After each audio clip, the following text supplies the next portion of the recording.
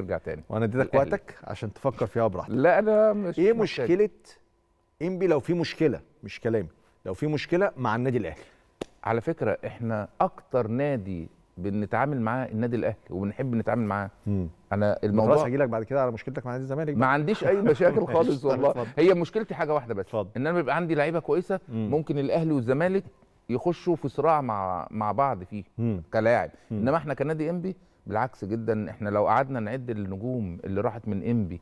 للأهلي أو اللي راحت من إنبي للزمالك لعيبة كتير جدا. طيب ما بيتك... ما بيتقالش دايما إن في مشكلة بين إنبي والزمالك بس اتقال إن في مشكلة بين إنبي والأهلي. إيه أصلها؟ إيه من وجهة نظرك لا أصل أعتقد هي ما ظهرتش. غير في موضوع مصطفى شلبي. مصطفى شلبي. و- وما كانش على فكرة أنا مش عايز أقول الأسرار بس إحنا والله والله والله مش إحنا اللي وقفنا وقفنا صفقة مصطفى شلبي خالص. أمال. مين اللي وقفها؟ إحنا كنا طالبين مبلغ. حلو. خلاص؟ حلو. و- وبرضو على قد معلوماتي آه، النادي الأهلي وقف عند حد معين خلاص وقال لك لا أنا مش هكمل. مدرب الأهلي وقتها؟ وقتها مدرب الأهلي قال لك خلاص أنا مش عايز. موسيماني. آه قال- موسيماني قال مش عايز مش يعني موس- موسيماني هو اللي قال أنا مش عايز مصطفى شلبي. مش عارف وقفت ال ال مش ال-. خلاص ال لا لا بالعكس. آه. بالعكس إحنا آه. أصل خلي بالك طب هقول لك على حاجة يعني لو إحنا عايزين نودي مصطفى ش... أنا مش مصلحتي إن أنا أحدد للاعب آه، نمرة واحد اللاعب هو اللي بيبقى مقرر هو عايز يروح فين. صح. نمرة اتنين العرض اللي انت بتبقى محتاجه. مم. أنا بقول مثلا عايز سي خمسه آه واحد قال لي لا أنا هديك واحد. جيت تاني قال لي أنا هديك اربعة. ما انت في النهاية برضو انت بتبص لمصلحة ناديك. انما اما نيجي نبص لعلاقات انبي بالأهلي أنا شايف ان هي علاقة محترمة جدا. إحنا أصحاب جدا.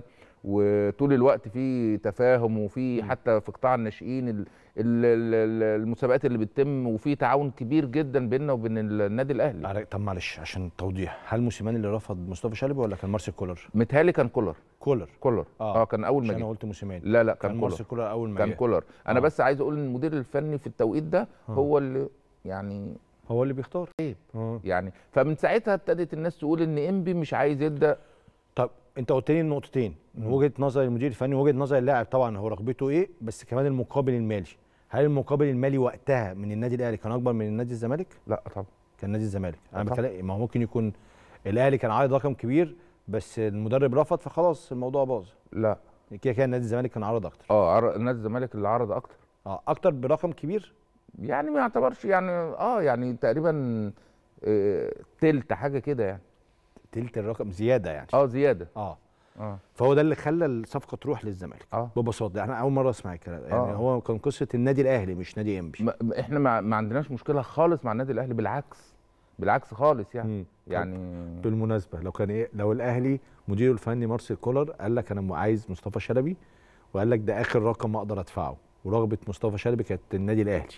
هنا بقى عندك رغبة اللاعب وعندك المدير الفني هناك عايز بس الرقم اللي جاي لك أقل من الرقم التاني كنت هتعمل إيه؟ آه هو دي طبعا نقطة بنقع فيها كتير في الحقيقة يعني أيوة. إن أنت بيبقى رغبة اللاعب عايز يروح مكان والنادي ما خلي بالك ساعات بيحصل تفاهم بين اللاعب والنادي امم لا أنت تضغط على النادي عشان بس في نقطة مهمة اللاعب نفسه لازم يبقى واخد باله منها إن هو في النهاية النادي اللي هو بيسيبه ده اللي هو بيته الحقيقي اللي هو صح. عمله نجم لازم برضه يبقى باصص لمصلحته صحيح يعني إيه ما ينفعش إن اللاعب ياخد مصلحته بس كل حاجة. صحيح. لا انت النادي تعب وعملك نجم و و و و فده لازم يبقى ليه تمن. صح. لازم يبقى مش عشان تمن ان أنا بتحكم فيه لا بس ده الطبيعي ان أنا ساعدتك وساندتك فانت لازم بيجي في التوقيت ده ان انت برضو تقف مع النادي بتاعك ان انت ما تبقاش عشان انت رايح نادي جديد تنسى النادي القديم.